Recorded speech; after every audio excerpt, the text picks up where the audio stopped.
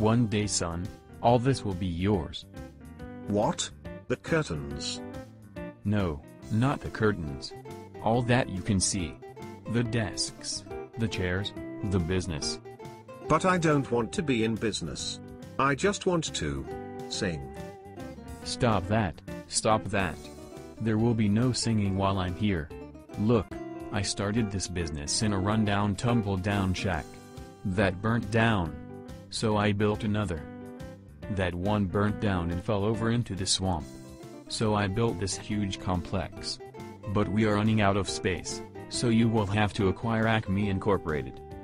Hiccup, hiccup, but mother, Father. father. But I don't like Acme. Hiccup. Oh, go and get a drink of water.